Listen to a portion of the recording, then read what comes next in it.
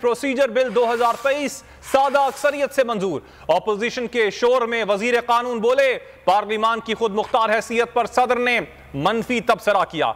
इस कानून साजी से सुप्रीम कोर्ट ज़्यादा ताकतवर होगी। सेनेटर फारूक एच नाइक बोले, कानून साजी से असखुद नोटिस के इख्तियार को रेगुलराइज करने में मदद मिलेगी।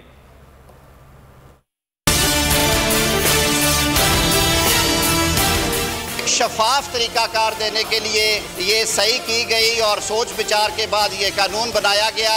सदर ममलिकत ने यह भी कहा कि ये सुप्रीम कोर्ट यानी कि अदलिया की आज़ादी के हवाले से ये उसमें इंटरफेयर करता है। मैं बड़े अदब से अर्ज़ करूँगा कि ये तमाम तर इख्तियार सुप्रीम कोर्ट के मोज़ जज साहबान को ही दिए गए हैं। जो काम अकेले चीफ जस्टिस करते थे, अब वो नेक्स्ट दो सीनियर मोस्ट जजेस की मुशावरत से करेंगे। Article 191 1 of the Constitution lays down that subject to the Constitution and law, the Supreme Court may make rules regulating the practice and procedure of the court. आज तक जो हुआ है इस तरह के जो ह्यूमन राइट्स केसेस होते हैं चीफ जस्टिस अकेले इसके ऊपर एक्शन लेता है जो कि बड़ा आर्बिट्ररी और विजिकल होता है अब इस कानून के नीचे एक तीन मेंबर्स की कमेटी होगी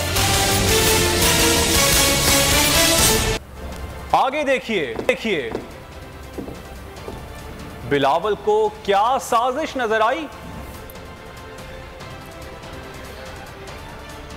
और मुश्तरका इजलास से किसका वॉकआउट